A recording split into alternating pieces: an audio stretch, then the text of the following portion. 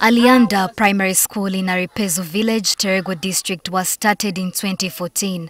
The pupils here endure the tough conditions to get an education. Primary 1 learners study under the trees, improvising seats with stones and bricks while using their lap as a desk. Some sit on the ground, others squat, while others kneel. This environment affects their concentration. Classrooms are not enough. That's why we take them outside the trees. The school is near the road, the roadside. Whenever you're teaching here, they will just be looking. Any, if any motorcycle passes, they will be seen by the roadside. So, uh, for me, I, I control that by saying that you people, please help me. You have to look at the chalk, uh, look on the chalkboard. The primary two learners endure similar experiences. Others study in makeshift structures. Without a roof on the rundown buildings, they sit down under the scorching sun, while others find space on the window sills The school has four classrooms. They help in rain formation. What else? This is a primary six classroom of Alianda Primary School in Terego District, a vital institution within the community. This classroom, small as it is, it accommodates 63 learners.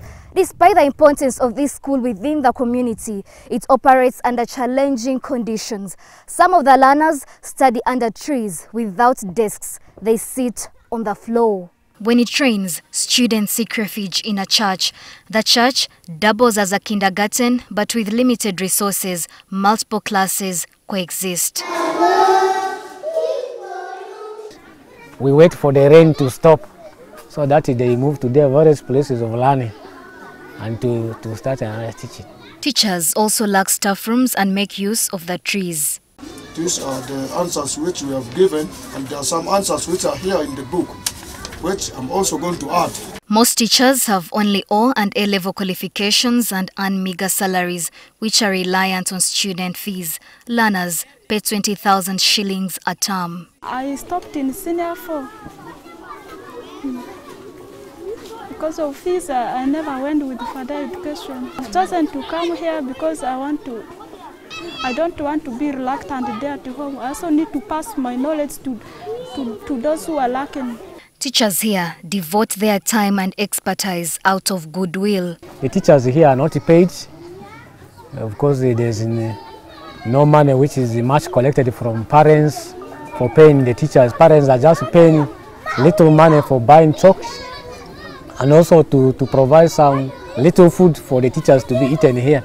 That's why you see mostly trained teachers who, comes here when they find that there's nothing for paying them, they just leave. What is keeping me here, this is my place.